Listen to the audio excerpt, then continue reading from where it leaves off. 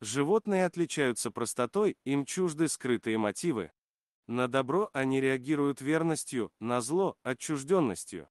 И только в особых случаях эта аксиома дает сбой. В Вашингтонский приют Роско попал еще щеночком. Несмотря на заботу со стороны работников, он вел себя самобытно, не шел на контакт и постоянно грустил. Это заставило волонтеров задуматься, что в прошлом. У него, возможно, была любящая семья. Ни на что не надеясь, неравнодушные люди выложили о нем пост. В социальных сетях. Кто знает, вдруг бывший хозяин получит весточку. Чудо случилось. Очень скоро в приют позвонил фермер, заявивший, что три года назад у него пропал любимец.